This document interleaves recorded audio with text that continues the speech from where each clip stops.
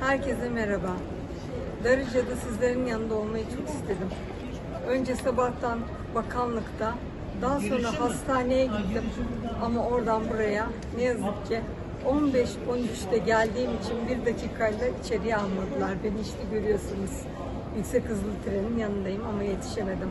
Gönlüm sizlerle. Tebrik ediyorum. Başta e, bu organizasyonu yapan sevgili il temsilcimiz ve e, engelliler bölümünden sorumlu olan Ersin'i e, tebrik ediyorum, kucaklıyorum. Diğer tarafta e, Ersin'i oraya layık gören e, engel şey Darıca e, Darıca'daki komisyonumuza teşekkür ediyorum. Diğer tarafta ona destek veren başta iki tane sponsorumuz olmak üzere her birine ayrı ayrı teşekkür ediyorum. Siz bizlerin yanında oldukça biz hep çalışmaya devam edeceğiz. Biz hep yanınızdayız. Uzakta olsak da yanınızdayız. Görüşmek dileğiyle. Bak elimde kaldı broşürlere kadar, sana aldığım, kızına aldığım hediyelere kadar, plaketlere kadar ama bir dahaki sefere inşallah görüşmek üzere sevgiler.